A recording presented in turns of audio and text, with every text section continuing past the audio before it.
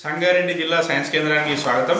మనం ఇప్పుడు జంతురాజ్యాన్ని తీసుకున్నట్లయితే జంతు రాజ్యం ప్రధానంగా రెండు గ్రూపులుగా విభజించబడి ఉంటుంది. అవి ఒకటి అక్షేరికాలు రెండవది సకశేర్కాలు అక్షేరికాలు తీసుకున్నట్లయితే మనకు తొమ్మిది రాజ్యాలుగా తొమ్మిది వర్గాలుగా విభజించబడి ఉంటుంది. సకశేర్కాలు ఐదు వర్గాలుగా విభజించబడి ఉంటుంది. మరి అక్షేర్కాల్లోని తొమ్మిది వర్గాల్లో ప్లాటీ హెల్మింతిస్ అనే ఒక వర్గము ప్రధానమైనది. మరి ప్లాటీ అనగా ఇక్కడ బల్లపరుపు అని ఎల్మిన్స్ అంటే పురుగులని అర్థం.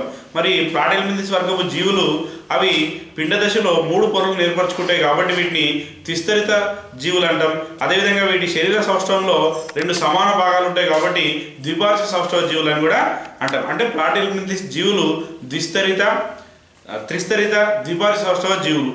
మరి ఇందులో స్వేచ్ఛాజీవులు ఉన్నాయి అదేవిధంగా పర పరాణజీవులు కూడా ఉన్నాయి. ప్లానేరియా అనే జీవి స్వేచ్ఛాజీవి మరి ఇక్కడ రెండు పరాణజీవులు మనకి ఇక్కడ కనిపిస్తూ ఉన్నాయి. అది ఒకటి బద్దె పురుగు దీన్ని టీనియా సోలియం అని కూడా అంటాం. రెండవది లివర్ ఫ్లూ. ముందుగా మనం బద్దె పురుగు గురించి చూద్దాం. దీని యొక్క శాస్త్రీయనామం ఏంటంటే టీనియా సోలియం.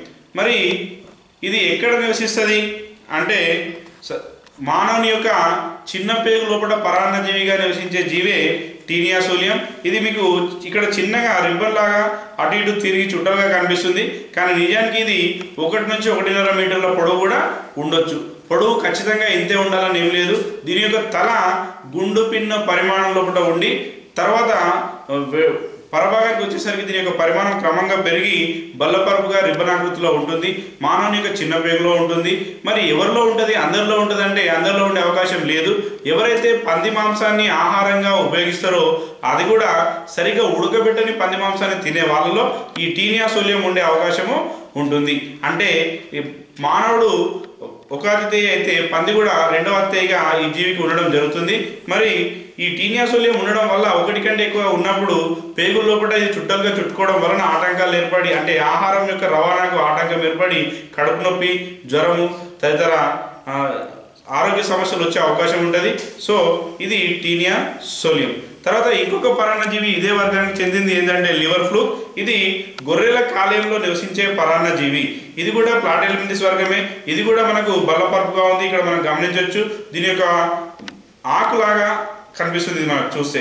దీని యొక్క తల భాగం ఏదైతే ఉందో అక్కడ ఒక చూషకం ఉండి చూసికంతో ఇది ఏం చేస్తుందంటే గొర్రెల కాలేయం లోపల ఆహారాన్ని స్వీకరిస్తూ ఆ దాని యొక్క వ్యాధి తీవ్రంగా ఉన్నప్పుడు ఆ కాలేయం పూర్తిగా కూడా నాశనం చేసే అవకాశం ఉంటుంది. ఇది గొర్రెల్లో నివసించే ప్లాటెలిమింటిస్ వరకు పరాన్నజీవి దీన్ని లివర్ ఫ్లూక్ అని మనం పిలుస్తూ ఉంటాం. ఈ రెండు జీవులు ప్లాటెలిమింటిస్లో ఉండే పరాణజీవులు ఇంకొకటి ఇంతకుముందే చెప్పినట్లుగా ప్లానేరియా అనేది స్వేచ్ఛాజీవి. ఇది ప్లాటెలిమింటిస్ వర్గ జీవులకు సంబంధించిన సంక్షిప్త సమాచారం.